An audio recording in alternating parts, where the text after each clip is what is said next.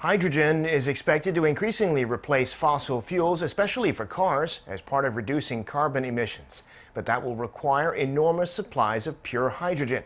South Korea is hoping to be a leading supplier in the future, and so it started a long term project to produce the element in large quantities using a fourth generation nuclear reactor. Cho Sung-min has more.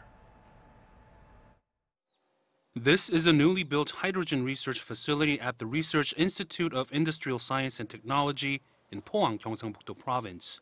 The lab is designed to create hydrogen by using the nuclear reactor's heat and electricity.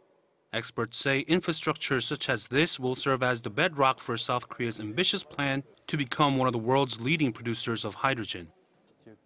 Our technology creates hydrogen by deconstructing water and electricity from the nuclear reactor's heat. It showed potential to produce green hydrogen more economically.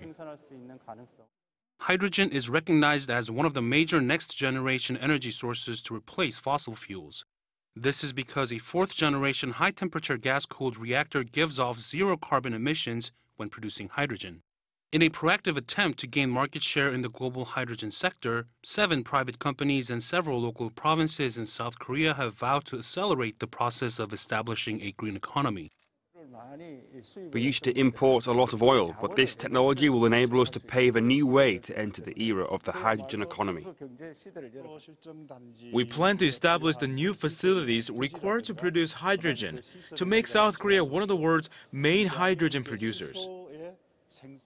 As related industry insiders predict that at least 10 years of investment must be continually made into the research and development and infrastructure to commercialize the technology, South Korea is expected to make concerted efforts to its green hydrogen project.